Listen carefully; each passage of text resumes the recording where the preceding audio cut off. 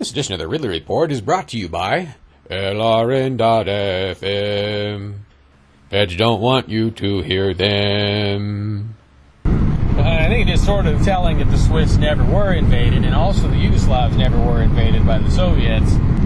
Because this is a damn fine plan. If you've got a an army that's pre-configured for guerrilla warfare, it doesn't have to worry about being surprised at the its airfields all bombed on the first day of the war, like Poland in 1939. There are few centers to bomb. And I mean, of course, Tito and Guisan were probably planning on operating with small units, but why not take this concept further? I, I really see in war games um, how so much time is wasted, or at least expended, uh, coordinating others when you're going to do something, and usually it's you know attempting to do something big. What if coordination were largely set aside and each soldier were, you know, citizen soldier, I guess, were freed up to just operate within certain parameters by themselves. Or if they want, maybe reach out to other soldiers and form their own groups and decide their own pecking order.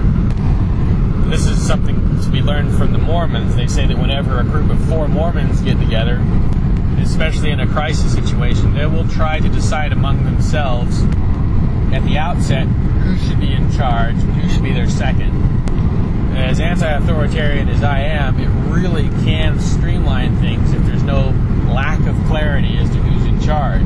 I don't know. Would it be better for a government to set this up in advance, or for uh, them to just leave it to each individual who they'll pledge their loyalty toward and follow within this, say, 4,000 man guerrilla army? But soldiers could be um, incentivized to accomplish, you know, greater things.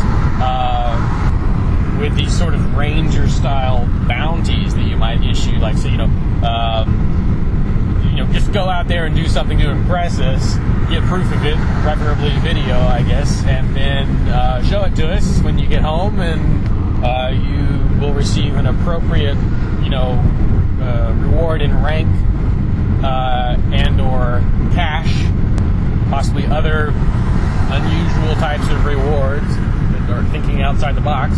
Uh, the more you do, the better it gets. But you know, ultimately, you're fighting for your country's freedom. So this mix of a profit motive and uh, tempered civic nationalism could result in a very effective defensive army. You know, there, there could also be demotions or punishments for actions that result in harm to bystanders or which violate the rules of engagement, which should be, you know, very broad uh, and simple rules of engagement. There shouldn't be, no one should be going through complicated calculations before engaging, right?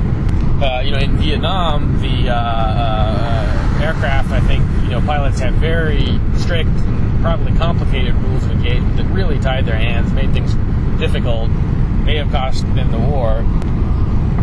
Sure, you want to prevent harmful things from happening to good people, but that's got to be covered in a sort of simple set of, of rules. Obviously, I've talked about this many times before. An obvious prerequisite to this sort of thing is a lot of weapons freedom in this free country. Average people should have access to relatively heavy weaponry, you know, up to tanks and fighter craft, that kind of thing. You know, should people be able to own B 1 bombers? Well, I find it kind of hard to swallow that idea if they've got the bombs. Uh, they're not, you know, violating the zero aggression principle. They don't have weapons of mass destruction. It's a little bit hard for me to, I guess, argue for or against it. But it's a bridge we can cross when we get to it. There's, there's a lot of uh, stations we can exit on this train if it's bound for freedom before we get to that station. Anyway, imagine this tiny army of gnats that's spread out. Uh, they'd be, you know, into 4,000 different places. They'd be so difficult. Each one of them should easily be able to tie down 10 of the enemy. Running around, who's running around chasing them. uh, they would capture the imagination of the, the world in a way that perhaps no other army ever has. And support for it probably would come flowing in from around the world and its numbers would grow. You'd have to have, you know, a few interesting exploits. There'd be a lot of very small exploits.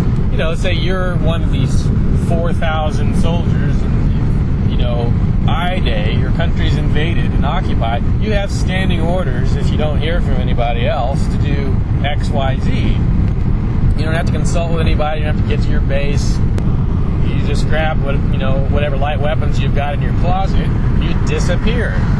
Maybe it's a secret. You know who's even in the army. Maybe standing orders are issued to the entire population. Maybe in a free country they'd be more like recommendations for how to engage uh, the enemy. Uh,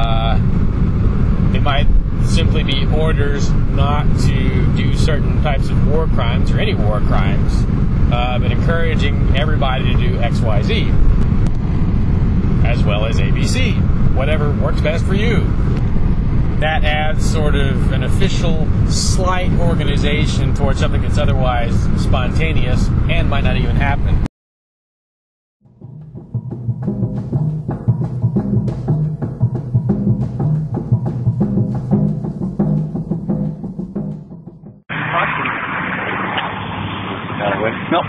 Can't do that. Federal agents on the streets of Keene, New Hampshire. They're investigating reports of an unlicensed radio station said to be broadcasting LRN.FM. So why all the fuss? What is LRN.FM?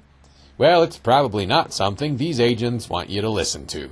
It's a 24 hour news talk broadcast, all pro liberty.